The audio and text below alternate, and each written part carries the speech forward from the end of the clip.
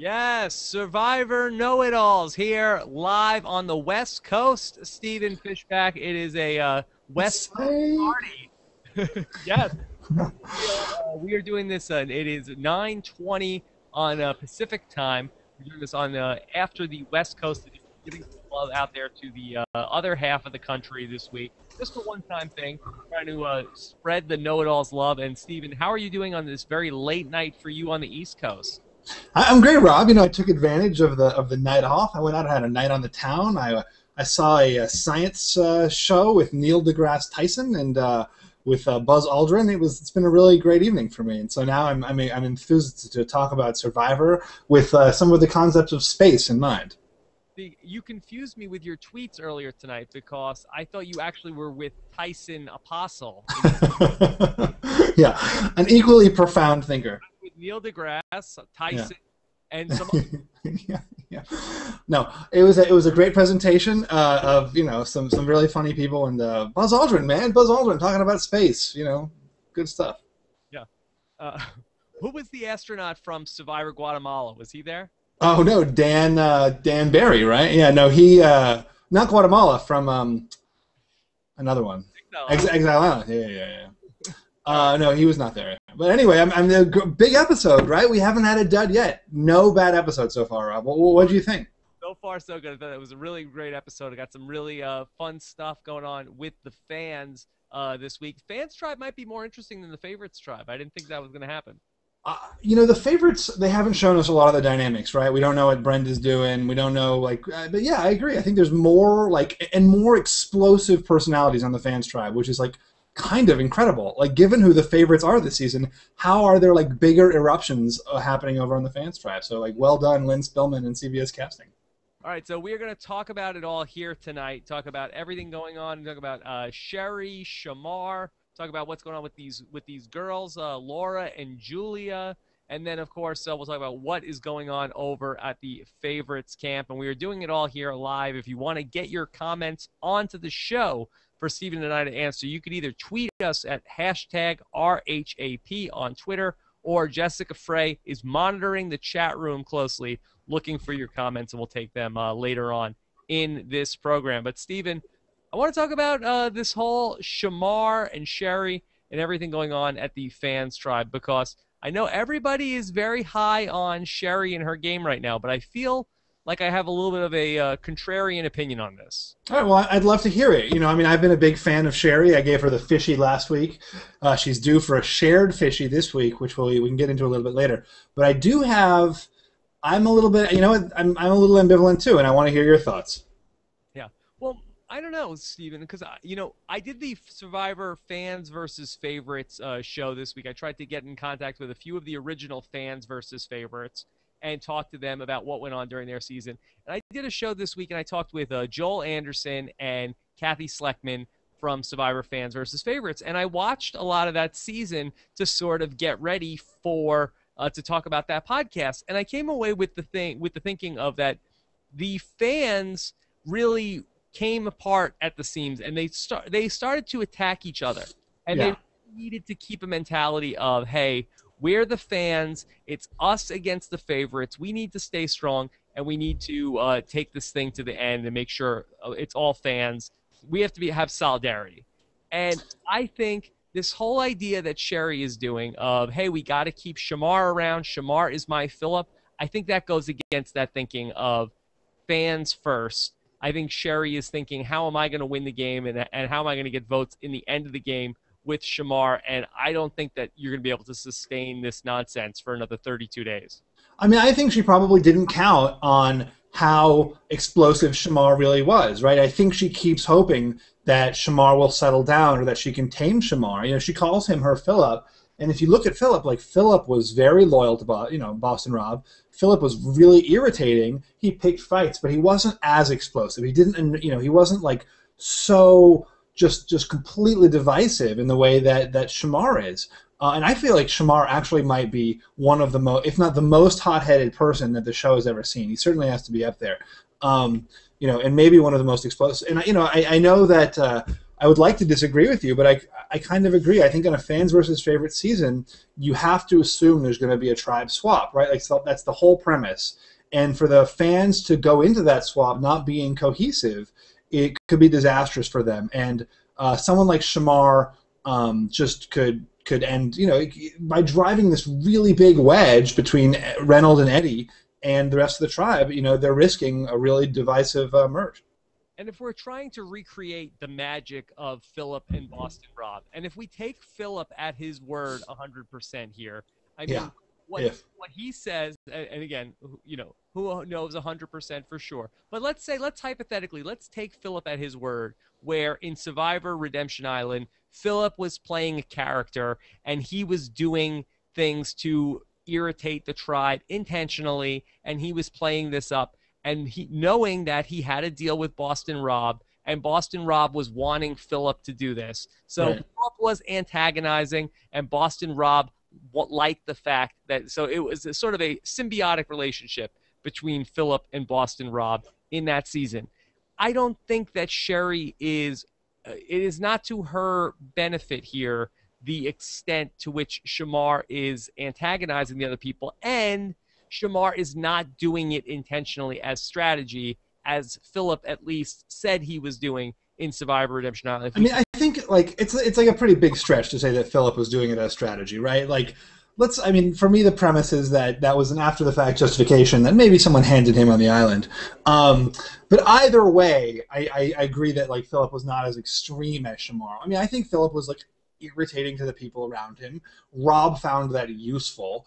But you know, Philip had this incredible loyalty to Rob in a way that I'm not sure Shamar does to Sherry. You know, Shamar. I mean, like even the fact that Shamar was talking about quitting. You know, Philip would have never done something like that.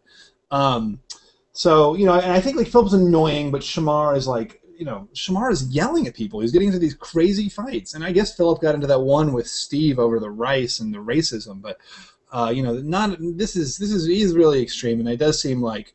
Uh, he's he's you know not just driving a web, uh, wedge in the tribe, but also I mean morale is a thing on Survivor. You know cohesion is a thing, um, and it sometimes does trump physical strength. I mean, and are Reynolds and Eddie really such bad guys? I mean, would Sherry be? Would it be the end of her game to sort of give up on this Shamar experiment and try to get something going with at least one of these two guys? And at this point in the game too you know she's got the numbers i think sherry. And like you know uh, you're right. She's playing for the end. She's thinking who am i going to sit next to? And that's important you know? But you all you have to get to the end to be able to win the end. Yeah, I think so. I I mean, going back to the original fans versus favorites, I mean, in hindsight, it really does seem like if Joel and Mikey B could have gotten on the same page in the original Survivor fans versus favorites, they would have been better served at the time that it was time to take on the favorites. Now, at some point, it does feel like we're watching two separate shows right now. A show that's like the love boat of our returning favorites who are off on some other island hijinks. yeah There's another island where people are actually fighting and playing a game of Survivor. It seems like. yeah, yeah. It does seem like like the favorites are all like uh, you know best of. It's like greatest hits, and like you know Cochran and Phillip have their uh, face off for airtime, and Cochran sees that the cameras are trained on Phillips, so he tries to get in the scene as well. And then over here, you're right. It's like a game to the death. And you know Eddie seems like a really sweet guy. Um, it's hard because like at the end of the day one person wins and then for every other person there's a story of well if they'd done this thing or that thing or this thing they, they would have won you know and you don't know when you're in the moment you don't know what the thing is Yeah. Stephen, I'd like to go to the board if, if we can tonight. i love the board yeah let's do it it up here. Just uh, give me give me a couple seconds here of uh, of filler while I move over. all right um, well we got rob moving over to the board here picking up a microphone very exciting um, hey i can't i'm not i'm not the host you are rob How how was Yeah. it at space camp, Stephen?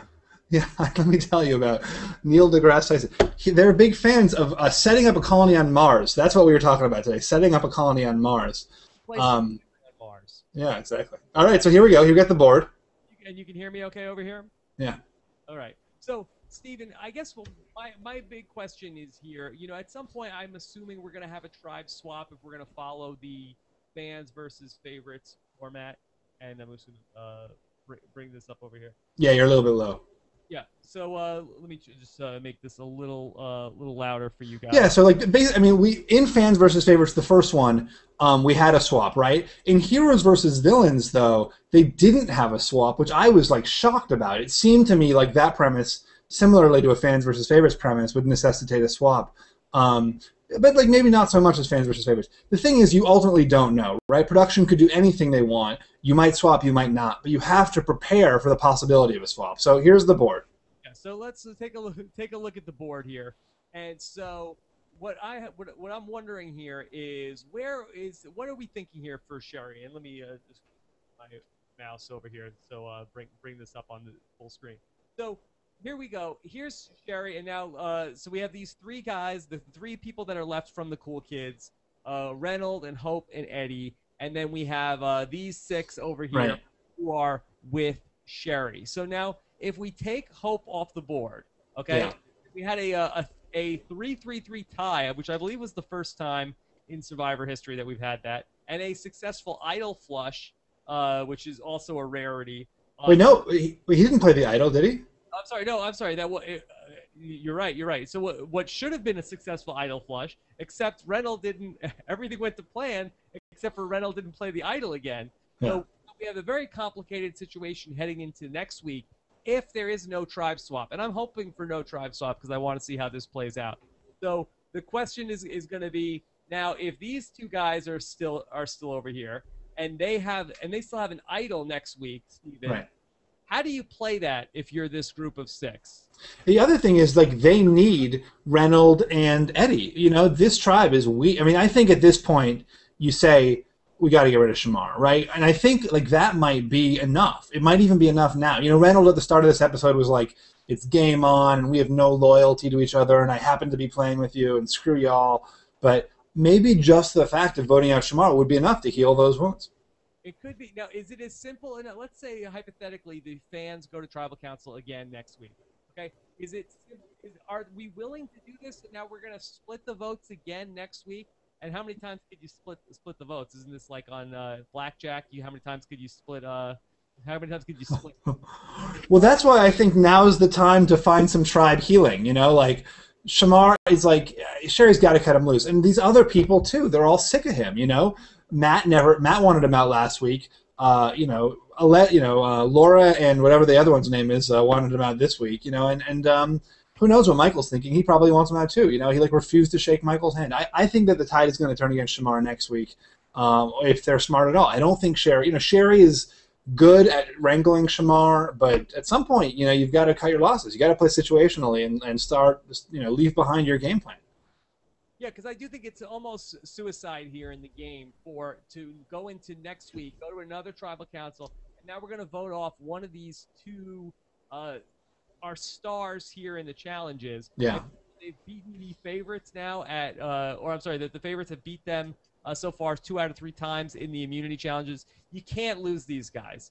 Jerry can't move forward with uh, with this team of people and, and lose and lose Eddie here, who isn't bringing much to the show, but is bringing a lot here uh, as far as being a challenge competitor. He seems like a really nice guy, though.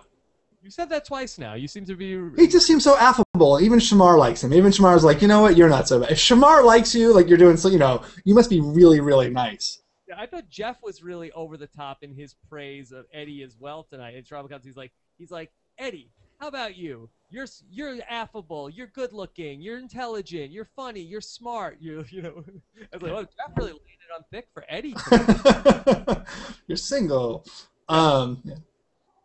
so we have a so with this group going forward. I mean, so you think that uh, Sherry will cut the cord on Shamar next week uh, if if she has to, and then move forward with this seven as opposed to uh, getting rid of one of these two guys. Let me say, I hope she'll do that. You know, you don't. I mean, on the other hand, like next week, episode four, right? Typically, the swap is in episode five or so. Um, I hope that Sherry would be smart enough to do to cut the cord. Um, but that said, with a swap upcoming, and you've already uh, alienated Reynold and Eddie, maybe the move is to get rid of Reynold or Eddie. Um, you know, maybe the move is to uh, get rid of one of the guys who's not going to be loyal to your side of the of the fans tribe, and to um, you know, keep the one who is going to be loyal. You know, it's it's a hard it's a hard call. I mean, you know, I think it's again like you've got to see how the rest of your group is feeling, but you know, may, maybe next week it's time to cut a disloyal uh, member loose. Okay, well, how about this, Stephen? I wanted to talk a little bit about what uh, Laura and Julia were up to this week and what their thinking was as far as what they did here tonight. Now, I thought this was sort of an opportunity for them to move out on their own, and I thought going into Tribal Council that we were going to see Laura make a move here. And so let's put Hope back up on the board here because uh, that's what we were thinking. And we it looked like I put these two in the middle here because it looked like we were going to see a new alliance form. The three cool kids who were left, plus Laura, plus Julia, to take out Shamar here and really be a power play against Sherry here in the early goings for the fans. Now, I actually think he, I, am going to present a sort of counterintuitive interpretation of events that I think is slightly different than the story we saw on screen, but that I think it might actually have been happening. And I kind of think Laura did something really remarkable, but was sort of the opposite of what we saw. So, first of all, I think we can, I mean, agree that it, you know, so that it, for Laura and Julia to flip, you know, they're flipping over from the middle of one alliance to the bottom of another. Not necessarily the best move. You know, maybe with the Shamar thing, we can talk about that. But I actually, we never actually see Laura and Julia discuss voting out Shamar. They say, "Are you worried about Shamar?" And then and then Laura says, "Yes, I'm scared." But the two of them never talk about voting them voting him out. Then we see Laura talking to Reynolds I can get rid of Shamar. And here's what I think was actually going on. I think Laura was creating a divert. Uh, you know, you know that I hate fan fiction, Rob. You know that I hate like purely speculative things. But I, I actually think that there might there's grounds for this interpretation. Um, Laura is creating a fake plan with Reynolds for a couple of reasons. First, by getting all three of the cool kids to vote for Shamar, she keeps she makes sure that Hope doesn't flip her vote to Eddie because if Hope flipped her vote, they would lose Eddie, who they need. Second of all, by making sure that all three of the cool kids vote for Shamar, she keeps herself off the off the roster. And then third, she just you know confuses them and kind of keeps them in her plan rather than coming up with a counter plan. So I think it might have just been pure diversion. Uh, that is a very interesting theory. Now I don't know if that Stephen. That, that may be your own fan fiction. That might no, but there's no there's no reason to think we don't. We have no confessionals with either Laura or Julia where they talk about voting out Shamar. We don't have them talking amongst themselves with voting out Shamar. The only time you see them talking about voting out Shamar is with Reynolds. I had a different theory on what happened here tonight. Um, we had Laura. Seemed like she was turning into a bit of a nervous Nelly and she's starting to get a little scared about what was going on. And she says to Reynolds, "Hey, look, I can, I can get Laura. Uh, uh I'm sorry, uh, that uh, I can get Julia." Hey, I think I, your mic is uh, low. Okay, let me see. Let me see what I can. Uh, it's is. Let me see. How's is this? Is this better for you guys? Is this is this getting better for you guys? Better? Anything? Bueller? Maybe better. Anyone? Um, Might get better. I don't know. I, am not. I'm not refreshed in chat. Okay. Um. Well, hopefully, we'll see. Yeah. Anyway, so well, let me let me keep let me keep going here. Yeah. So, so she says to Reynolds, "Hey, I can deliver. I can deliver the uh, Julia vote to you." Right. Now, did she go back to Julia and say, "Hey, guess what? We're gonna take out Shamar," and either Sherry said uh, no, or or Julia said no. I don't want to do that. Um, better, but still low, Rob. Okay. Well, all right. Let's. Yeah. Um, I, I, so you know, again, like I, I mean, I agree that that's the interpretation that the show wanted us to, to believe. Um, you know, I agree that that's how like the, the, narrative was presented, and you know, ultimately, you're sort of at the mercy of the narrative. Um, you know, so either Sherry talked them out of it, or or someone said no. I mean, you know, a lot of the time you think of plans at the last minute um, and then you consider their merits, and then you decide against them or you decide for them. I just think the fact that she went to Reynolds without it being confirmed with Julia, I don't think it's likely that it was a real plan. I don't think you would go outside your alliance and make the deal before you knew, you know, before it was a done deal, unless it was a diversion. Very interesting. It's going to be interesting to see what happens here uh, with a tri- with a tribe swap to see how that is going to shake things up, or if you have to play this game and expect it not going to be a tribe swap because. Well, what would you do? Would you in, in this well, Rob in this situation? You're on the island. It's day nine. Day nine, right? Do you think? Are you thinking about the swap? Are you like? How are you playing in the situation? I think maybe the young the younger me might have played it the way that Sher- that Sherry is thinking of, but I think the more I've gone back and looked at this, I think the history of Survivor favors the tribe that's that works together and, and, and is more cohesive going into the merge because let's say I mean I Definitely. mean don't you think that if there's a tribe swap at at some point I mean isn't Reynolds automatically defecting to the Yeah. Tribe immediately and saying oh my god I'm so I'm so happy to be away from uh, from the fans. I'll help you guys. You want to vote out Sherry? You want to vote out Julia? You want to vote out Mike Matt whoever? I don't care. They're trying trying to get me this whole game. So if you're going to leave Reynolds around and then there is going to be a tribe swap, he will flip and he will defect, and then you're going to be in big trouble. I totally agree, and it's not just you know. I think it's throughout the post-merge time. You know, it's not just like one one um one guy being disloyal. You know, it's like with, when in the in the post-merge time when you have disloyalty and distrust um, among your among your alliance members, like those are the groups that splinter. And it's you know you've seen it in Timbira, you saw it in Galu, you saw it in the Heroes, you saw it in Tandang last season. Uh, yeah, last season, right? Like Tandang's whole problem was they had ostracized people, they had isolated people, and they had uh, you know allowed people to feel left out. And then when the merge came, those people flipped on the alliance and they completely undid it. And uh, you know I think you need that sense of um, cohesion in order to really you know. But on the other hand, um, the important thing is that the group that exists is cohesive. So if they can get rid of Reynolds and Eddie and have a tight alliance amongst themselves, they might be doing all right anyway. You know, I, let's go back to Boston Rob one more time here. I mean, if you look at the season where he actually won, he went into the merge with a very tight group of six, where it was Boston Rob and Natalie and Andrea and Ashley and Philip and Grant. And when Zapatera in that season tried to get Philip, who was the sixth man on the totem pole, to switch over, they couldn't do it. And then Boston Rob just pagonged that whole other group because they had a tight enough uh, core there. And so at this pace that we're going here, I don't think that the fans tribe is ever going to get there unless we take Shamar out of the equation. But Because keep it. Oh, go ahead. because as long as Shamar is in the picture, we are never going to have Eddie and Reynolds on board.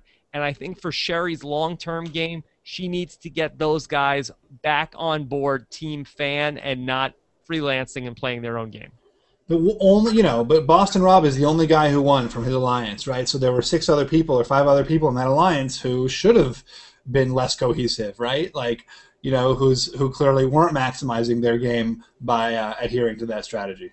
Yeah. So it really needs to be for those for these people. It needs to be, hey, it's fans first. No matter what, it's us against them. And Boston Rob did a great job in that season of instilling that. I think he also probably did a really good job on the All Star season of, hey, it's us against them. Don't talk to any of those people from those alliance. They're the bad guys. They're the enemies. And right now, the way things are going for this fans tribe, I think there's going to be a lot of defection from these two guys if they're still in the game at this point and they're not going to be able to win any challenges if they do get rid of them. And if they keep Shamar around going into them, who knows what's going to happen the longer you keep Shamar in this game. He's like uh, nitroglycerin. So he could go off at any minute and take everybody down with him. Well, Rob, that's actually a good. I think this is a good moment to transition over to the favorites tribe because I feel that you know loyal, inter alliance loyalty is also the key issue uh, the, for the favorites tribe this this episode, right? With uh, Andrea uh, potentially targeting Corinne, um, uh, the, a member of her alliance, and wanting to replace her with Brandon. What, what, what did you think of that move? Well, my question for you tonight, Stephen, was going to be just how badly is Corinne screwed right now? Because I'm the Corinne screw is screwed meter is uh, going pretty high in my book. Oh, re- well, so let's talk. So, well, you run through the reasons you think Corinne is screwed. Well, I think Corinne is screwed because Andrea is plotting against her, and she's talking to Cochran and talking to Philip. Like, I love this idea. This is a great idea. Um, so I think that this is uh, big trouble for Corinne. And you know, this targeting people in your own alliance. I'm going to go back to Redemption Island. It seems to me that it feels like for Andrea, the shoe is on the other foot because this feels like what Boston Rob did to Matt Elrod and Andrea back in that season, where he had these people in his alliance and decided to target Matt Elrod in that alliance because he didn't trust Matt Elrod. And that feels to me like what Andrea is trying to do. Oh, these two are a pair in my alliance. I don't like that. I'm going to take out Corinne here. So you think this is a good move for Andrea? I didn't say that. I didn't say that. Okay. Because uh, I'm, I think it's a little too early to be fooling around with this sort of stuff. I mean, to take out somebody who's intensely loyal like Corinne and replace her in the six with Right. enhance. I think this is a very questionable move to even be thinking this on day seven and day day eight. And so help me God, if if Corinne goes out of the game here, I'm going to give Andrea the Eliza treatment. I think on uh, on Twitter. You're gonna have a, a Twitter uh, blow up. Okay, yeah. Well, you know, I'm always on board with that. Um, the uh, yeah. um, so the other reason I think it's bad is like not just that Brandon is a you know crazy erratic player, but also that Brandon is tight with Dawn and Cochran. So you have this alliance of six now, where you have you know if only the board were set up, we have these pairs, right? You have uh, Philip and Andrea. You have Dawn and Cochran, and then you have Malcolm and Corinne, who are these outliers, and they're kind of together because they're both outliers together, and because they're both attractive. Um, so by bringing in Brandon instead of Corinne, Andrea is like shifting the dynamics in the alliance to the South Pacific crew. You know, Cochran is tighter to Brandon, Cochran is tighter to Dawn. Suddenly, Cochran basically controls, or Do- Doctrine controls the, the all the votes of the alliance. Whereas, it was like she was off tonight. yeah, you know, no no no weeping, no breaking down. They got no, they got no use for her. I didn't even see her. She wasn't in the picture.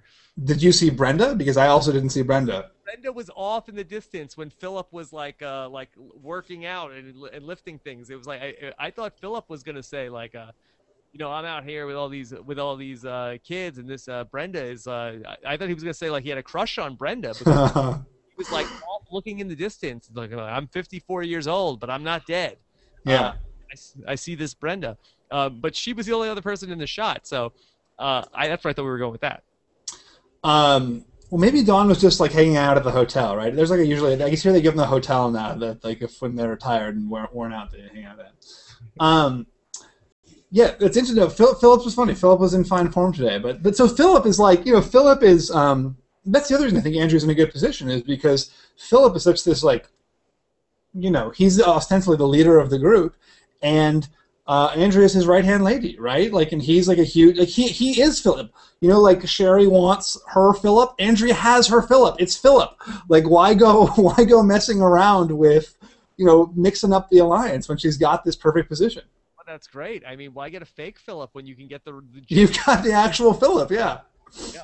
Well, that is that is great. So yeah, I think it's too early here for Andrea, and I'm going to say the same thing for the favorites tribe that I would say for the fans tribe. It's like why you, why are you messing around with this? Yeah, know, I agree. why are we getting too cute here? I got to take out Corinne. I mean, is Corinne a threat? Is it like, a, oh, Corinne and Malcolm are tight. They could be the final two. So I don't want to lose the power. If Corinne and Malcolm are tight, yet they have really no other allies to speak of, if they are truly in your alliance and isolated, it's not like, oh, Corinne and Malcolm are tight and, and they have everybody else in their back pocket. They're not Rob and Amber where it's like, okay, they have all these other all these other sub alliances. It's just them. Who are they bothering?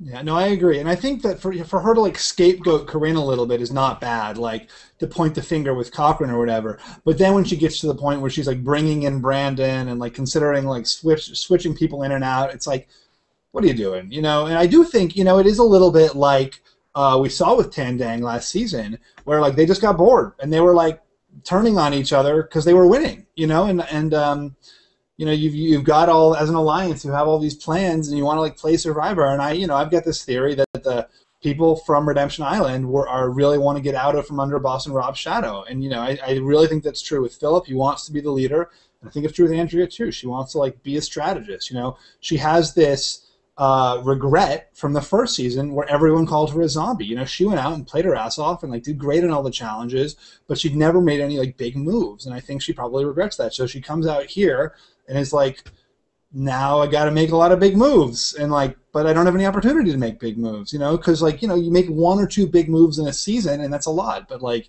you know, when you're sitting there for 24 hours a day, you're like, where's my big move? Yeah. Now we also saw on Survivor Redemption Island, Andrea got a, a little. She didn't like it when Krista Klump gave the Bible to Matt Elrod. Uh, not care for that. Do you think could this be at all? that it is Andrea who wants to be off in the jungle having one-on-one chats with Malcolm, like Corinne being the one. She Andrea's sitting there having one-on-one chats with Cochran and Philip and and she's saying to herself, "Hey, this could be if this Corinne wasn't around, this yeah. could be off in the woods with Malcolm." That's interesting. That that's actually really funny. I, I didn't even think about that. Um, yeah, it could be right. You know, you want to get closer, you want to snuggle with someone, you got to get rid of the competition. Okay. So, all right. So let's t- let's get into some of these questions from you guys here tonight, and uh, I'm gonna br- I'm gonna bring in uh, Jessica Frey, and uh, she's has been following everything very closely, uh, and see uh, what she has uh, in store for us. And let's see. Hey. Oh my God! Hello. Hey. Some background noise. Yeah. Yeah, there's a lot of good questions. Oh, great. Yeah, definitely Team Corinne. Okay, here's one about An- Andrea and Corinne. All right, fire, fire. Yeah. I'm gonna. Uh, yeah, yeah, yeah. All right, here we go. Uh, this is from uh, Scotty Styles, who wants to know: Should Andrea have told Brandon about their plans to vote out Corinne? Will it backfire on her? So, Stephen, uh, here's what we, we wanted to know about. Is it ever a good idea to tell Brandon Hantz the plan? uh, yeah. The answer to that is no. Like, what is the point? You know, what what exactly? It's like, I mean, Rob, like, why didn't they take a lesson from your book and act, treat him like you ch- treat him like you treated Matt, right? Like, you can have Brandon Hantz in your alliance, just like feed him information when you need to. I agree with you. And Brandon Hantz, it was like they were telling him the plan, and he was like, he was like having like a conniption of like, uh, on my season, people, I found out that things weren't true, and if I find out that we're not really voting out Corinne, I'll give you the rice, I'll, I'll, I'll burn the shelter down. Like, calm down. They were telling you what was really going on. What do you think Cochran's strategy? Because you know Cochran was humoring Andrea, right? Um, when she first came to him with this idea to vote out Corinne, but like then he goes and invites Brandon into the into this meeting. Like, what do you think he's thinking in that situation? No, are you assuming that he's thinking? he's a smart guy, you know. He's like probably worried about the sun and something. He is, he is a smart guy, and and he's often. I feel like Cochran is often commenting on what is going on. But I feel like through two seasons, through his body of work so far, I feel like we we rarely get from Cochran here's what my plan is. Here's right. where it's all going. And I feel like, uh, you know, he's often commenting on what is happening around us, what the other players are doing, what he's thinking. But I feel like we don't, we rarely get a big picture from Cochran on what his ultimate strategy is. So I think it's very hard to tell. Right. Okay. Uh, Rob, uh, KPOTS27 wants to know Do you guys think Brenda is trying to get further this season by playing the Purple Kelly strategy? Hashtag no talking. Okay. Uh, so I don't think that Brenda is trying to play the Purple Kelly strategy. I don't think she's planning on quitting. I don't think anybody would say to themselves, "Boy, you know who did a really good job." I think I'm gonna try to bring that up. She's getting a Purple Kelly edit this season, yeah. which that speaks well for Brenda. She also has a purple bikini on, so Purple Brenda certainly fits. But um, no, I don't think she's doing anything intentionally to be Purple Kelly, but she, I will say, she's after a sort of a rough start, she is doing a good job blending into the scenery enough where they're not talking about, hey, she's the next target. So good for my pick. Uh, what was a Rob or Know It Alls? What was your opinion on not splitting the votes on Reynolds to flesh out the idol? Hmm. Um, now, I thought they did split the votes. They put it on Eddie though. I think that I think uh, George J or uh, Jess Bug for George Jane means um, why not put them on Reynolds to make him uh, play Seattle? I'll tell you why. They can't risk losing Reynolds. Reynolds yeah. such is so good in the challenges that they can't risk losing him, and they don't even want to mess around that he might get voted by, even though he has an idol. They don't want to risk. Okay, he gave the idol to Eddie to outsmart them, and then he ends up getting voted out, and they lose all the challenges. So that's why they didn't want to mess around with Reynolds. And I actually think that Reynolds is not a half bad player. I kind of disagree. And like, well, this next question will get to the heart of that. Um, Nick Fishman wants to know: Did Reynolds' rant remind you at all of Ozzy's free agent rant? You know, I not that much. I have to say, I don't think that Reynolds, uh, his what he when he was ranting was was awful because I, I felt like he was uh, okay. Yeah, the game is the game is on or or whatever. Yeah, that wasn't great, but I did feel like he was, you know, a, a little bit sort of saying like, "Hey, we got to stick together."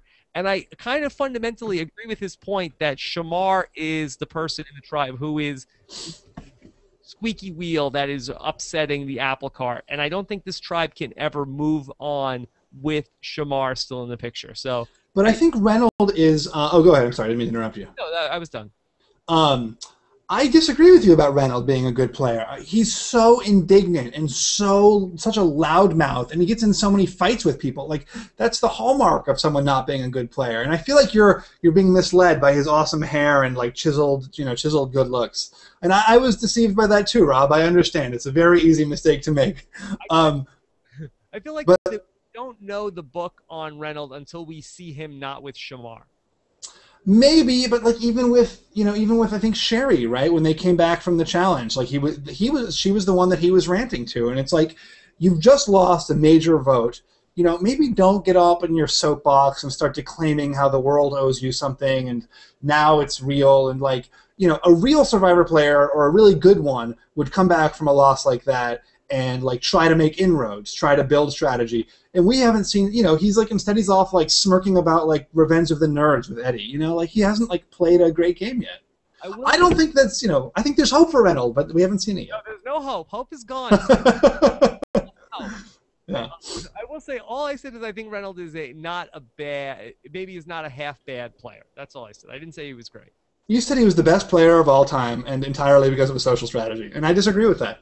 All right, here's one from uh, from our friend Ian Terry. He wants to know, do you think I have a chance with Laura, uh, Do you think Ian Terry has a chance with Laura? I'd have to say so, right? Well, what what happened to RC? I thought that like they had a thing. Moved past it. Yeah, I don't know. Old news. She's on the last season. This is oh God, yeah. Um, yeah, sure. Why not? Current Big Brother winner is not going to be settling on somebody from last season, even if she is Miss Survivor.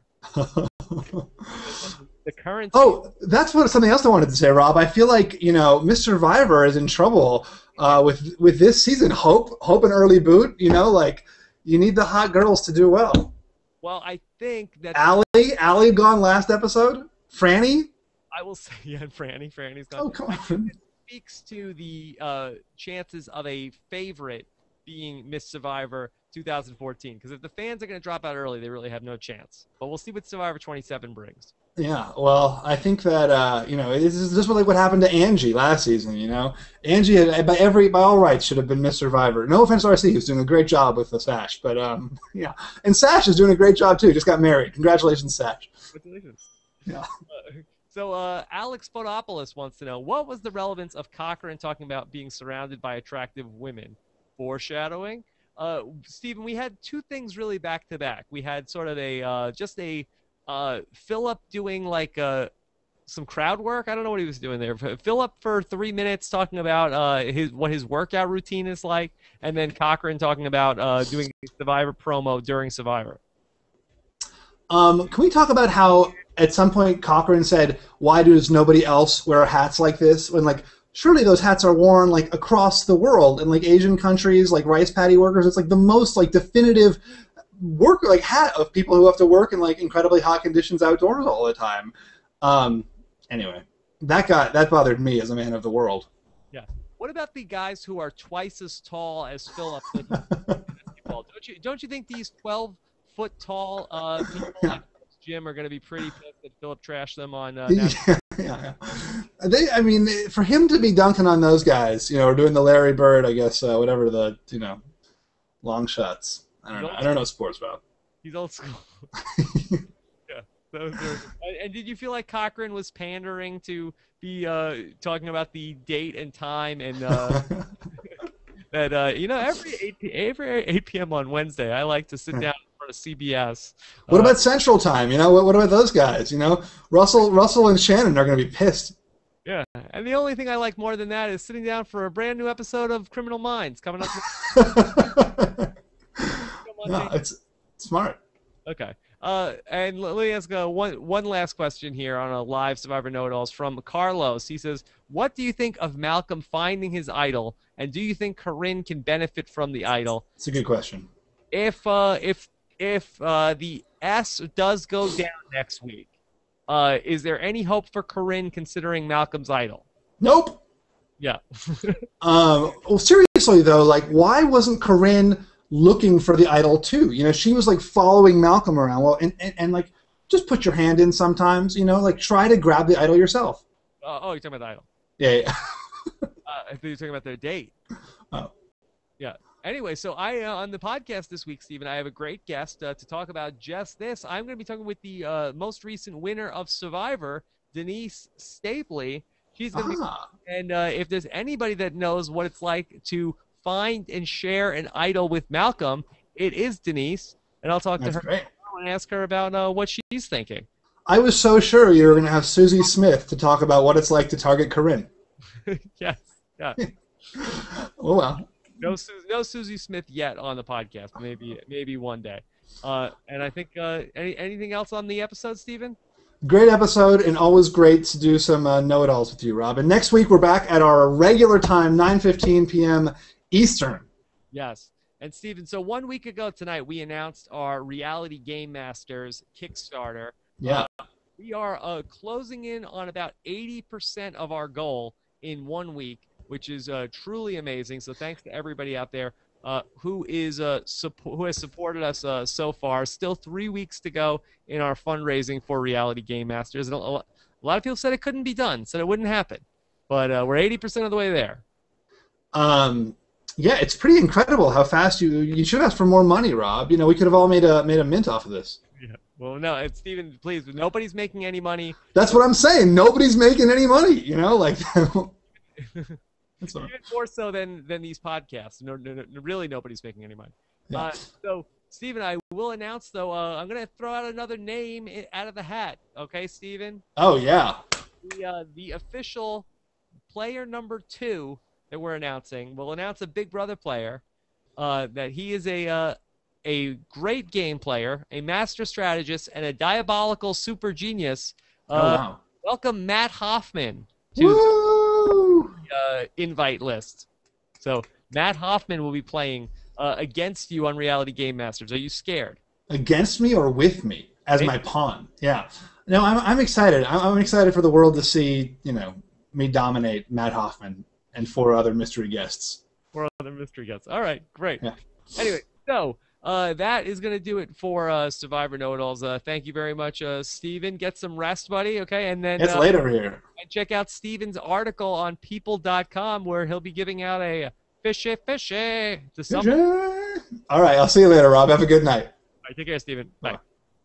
All right, and for everybody else, tomorrow uh, I am going to be speaking with the latest person kicked off of Survivor, Hope. Uh, I will have a uh, talk to her about everything we talked about here tonight. What was going on with Shamar? What was going on with the Cool Kids Alliance? Is there any hope for a long-term relationship with Eddie and all that stuff? And what was going on in the fans? So we're going to talk to Hope, and then, as I just said a little while ago, Denise. We're going to talk to her about uh, everything that went down with Survivor Philippines, what her take is on Malcolm this season. Is he in a good spot?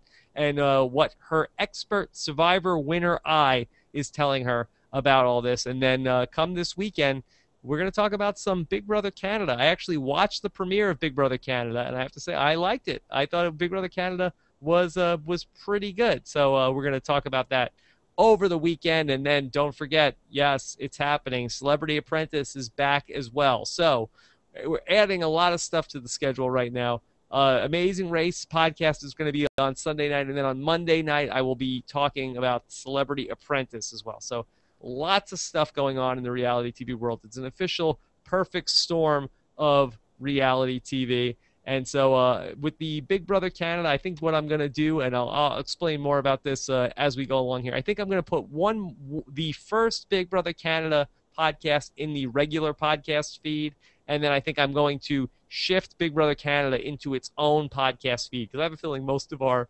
listeners are not going to be following the Big Brother Canada as closely as I am. Even though a lot of people are going to follow it, it's going to be good. Okay, so and then uh, the only thing I want to tell you guys is uh, it's it's time for Rob Gives Back for all your support that you guys have given me uh, shopping at Amazon over the last year. It's uh, I want to help out Jillian Larson and support the uh, Michelle's Place in the Reality Rally from March 1st to March 7th. When you shop using the link robhasawebsite.com slash Amazon, I will give 100% of the Amazon revenue that comes in to uh, Michelle's Place for the Reality Rally and uh, that is going to be from March 1st through March 7th when you shop at the link. So that starts Friday, Friday to Thursday when you shop using the link robhasawebsite.com slash Amazon. So that's going to do it for me tonight. Have a great uh, Thursday, everybody. We'll talk to you in our exit interview, and uh, thank you, Jessica Frey, for pulling these questions. And take care, everybody. Have a great night. Bye. Fishy, fishy.